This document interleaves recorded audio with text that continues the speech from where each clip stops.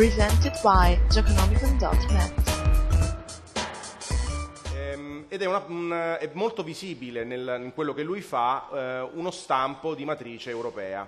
Quindi gli ho già fatto questa domanda qualche minuto fa quando ci siamo incontrati, però è bello che lui dica esattamente quali sono le sue principali fonti di ispirazione, perché ci sono delle sorprese che poi non sono delle sorprese. So, in the world of cinema, and so working as, a, as were director. So that gets to the, to the gets us to a very interesting part that is the storytelling style, and that looks quite cinematographic. And in a sense, it's got it almost feels like it's got a bit of a European flavour to it. And so uh, this is a question we already asked you before, but it'd be nice for, for you to reiterate and share that with the audience. Uh, what are your sources? What are your inspirations and the influences in, in your work? Because there are many, many things. We'll, we'll find the audience will find there are many um, sources that they would expect, and some surprises. El Topo.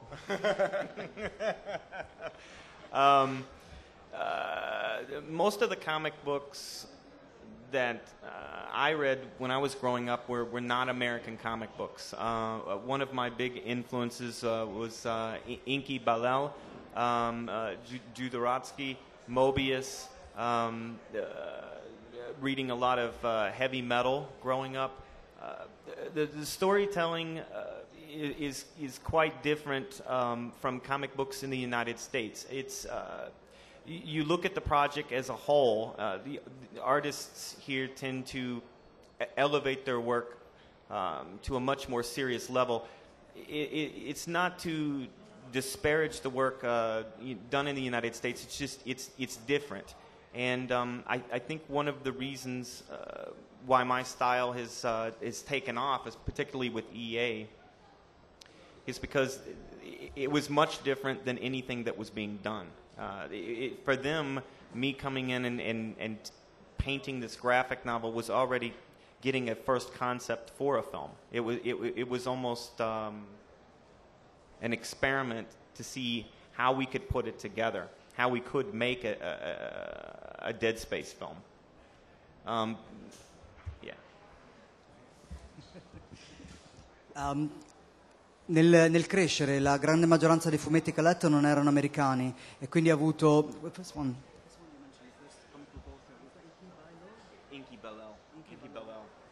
Inky Ballon and um, Jodorowsky. Inky Bilal. Inky Bilal. Uh, Jodorowsky and Mabi- Mebius e anche parecchio di heavy metal.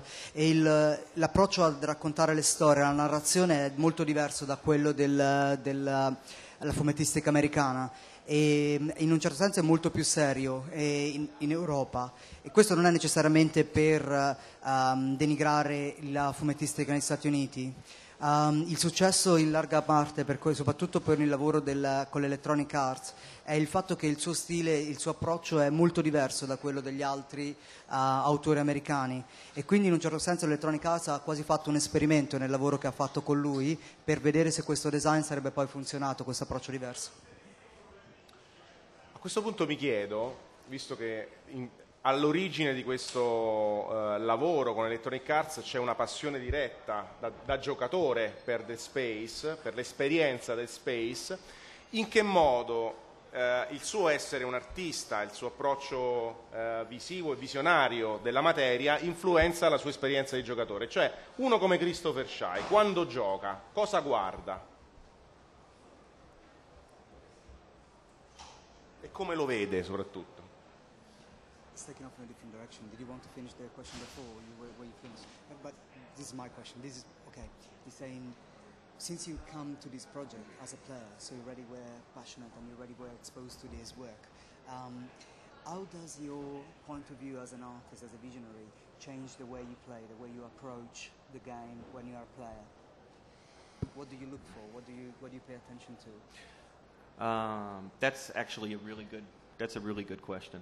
Um, I found after I started the graphic novel that uh, I was looking at the game a lot differently, particularly the backgrounds. Um, I paid a lot more attention to the details that I didn't necessarily pay attention to before.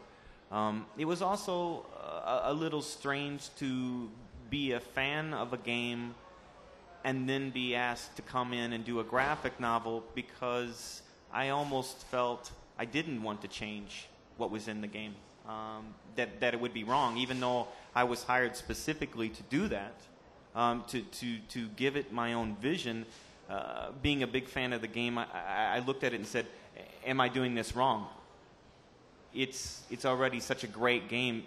How much of this can I actually change without feeling bad about it myself? Uh, so I, I had to kind of disconnect that part of my brain and, and separate uh, the, the fan from the artist. Uh, and it was, uh, it was a little hard in the first month. Uh, I, I, have to say that um, I was a little bit of a fanboy.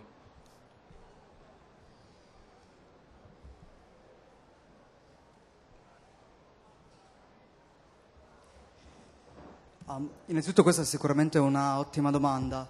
Uh, quello che ha trovato uh, dopo aver iniziato a, um, a, lavorare sul fumetto è che nel giocare ha cominciato a fare molta più attenzione ai dettagli dello sfondo che, erano, che prima non aveva notato come giocatore all'inizio. E quindi era un pochino uh, strano fare questo lavoro, essere prima un, un, fan di un gioco perché sentiva quasi che nonostante fosse stato... Pagato e ingaggiato esattamente per modificare, per dare la propria impronta al gioco, essendo un fan non voleva neanche cambiarlo troppo perché gli piaceva già così tanto nella, nella sua forma presente. E, e, quindi è stato un primo mese di, eh, di, tribolazione nel cercare di decidere quanto poteva cambiare e nel dividere le due parti del, del, suo cervello in un certo senso, quella del fan da quella del professionista, l'una che non voleva cambiare nulla e l'altra che invece doveva fare il proprio mestiere e in un certo senso lui alla fine uh, deve ammettere di essere stato un, un, un appassionato, forse anche un, in maniera ossessiva del gioco all'inizio. Prima di, di, tornare su Christopher vorrei chiedere a Fabio ehm, in che modo avere a che fare con un artista semplifica o complica il lavoro di lancio, di posizionamento di un, di un videogame? Sicuramente oh, niente Sicuramente non è un discorso di semplificare o di complicare la vita noi che dobbiamo poi lanciare il prodotto. Diciamo che è un arricchimento perché ehm, diciamo, ci permette di valorizzare il prodotto, il brand, oltretutto Dead Space è una nostra proprietà intellettuale, ci teniamo moltissimo. Eh, credo che sia anche uno di quei titoli, forse il primo titolo che ha, ha, ci ha permesso di rinnovare l'immagine di Electronic Arts in tutto il mondo grazie alla qualità raggiunta appunto al primo capitolo, quindi non è una questione né di semplificare né di ehm, rendere più difficoltoso, ma semplicemente di arricchire, di permetterci di trovare nuovi spunti per lavorare un prodotto e quindi non lavorarlo sem- come, come avviene spesso con un prodotto videogioco, quindi con un tradizionale lancio ne so, campagna televisiva, campagna pubblicitaria, eh, attività in store e quant'altro. Quindi eh, per noi è sicuramente un punto a nostro favore e ovviamente lavorare con un personaggio del calibro di Christopher Shy è veramente incredibile. Infatti eh, io mi auguro sinceramente di poterlo avere qui nuovamente il prossimo anno con eh, ancora più cose da raccontarvi. Prima di passare mi dai un attimo che spiega lui quello che si è detto? Um, just to, that was a question to, to Fabio. So, io nel frattempo vi invito a cominciare a pensare alle domande da fare a Christopher, io ne ho un paio, però insomma mi date una mano anche voi.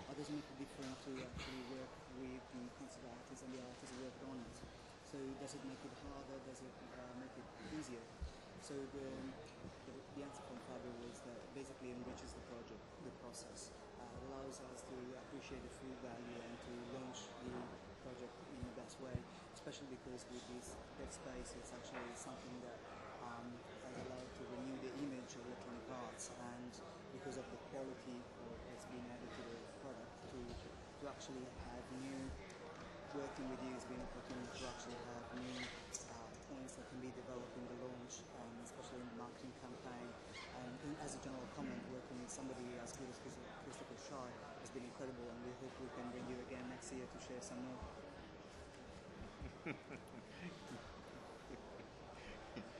should, I answer that? Um, you got something? Fabio just wants to drink more.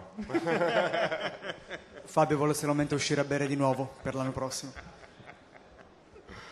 Eh, io invece ho un'altra curiosità. Ehm, fino a qualche anno fa la grande scusa degli sviluppatori era di non avere una tecnologia eh, in grado di supportare la storia, le storie che vengono raccontate attraverso i videogame. Fortunatamente siamo arrivati a un livello tale di, di, di sviluppo tecnologico per cui eh, gli sviluppatori hanno in mano gli strumenti adatti a raccontare qualsiasi storia. Eppure ancora, a parte qualche rarissimo caso, non abbiamo visto delle storie da giocare entusiasmanti come ad esempio le storie da leggere sui fumetti o le storie del cinema.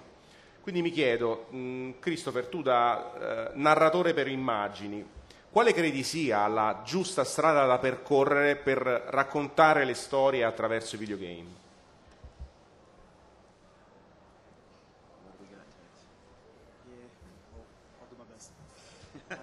Till, a till a few years ago, there was. Sorry, man. We, we heard a lot from, as an excuse from the developers, that we didn't have the right technology to um, tell these good stories. That now the technology is actually really good. So now that the developers have good tools for to tell any story, uh, we still see that in the video game industry, the stories uh, are not as good as in the comic book industry and in the cinema. So now that you are um, a visual storyteller, how do you think um, we can actually improve the situation and start telling better stories through video games? Well, that's, that's going to be a complicated one, Will. You ready? I'll try to talk slower. Um, I think the I think the first thing you have to remember with, with video games is that uh, I actually started in this industry working in games in the early '90s, uh, and it, it was a very technology-driven uh, industry. Th- There there wasn't a need for storytellers. Uh, there there wasn't really a need uh, for professional artists because we were still trying to figure out how to make these things work. I think that the subtle difference now is that the kids that started in this industry are now the kids running the industry. And we've always wanted to bring in talent from other industries to make these games better. Now we have the opportunities to do this because people are starting to see the possibilities that games are the new movies and they will be the, the creative force for the next couple generations. We're not just going to go and play these games. These games we're to they're going to become worlds. They're going to become more than just franchises. They're going to become your favorite films. The replayability of games demands that you bring in people that can create these worlds, worlds that you want to play in. That you don't want to just uh, shoot the monster once and walk away, that you actually fall in love with a consistent world. They can call it uh, a franchise or an IP, but it's, it's more it's more like a favorite book or a favorite movie. Uh, it, it leaves you with a feeling um, that's much more than just finishing a game. You miss it. You want to go back to it. And I think by taking uh, comic book artists, uh, film directors, novelists, we're, we're pulling from the best pools and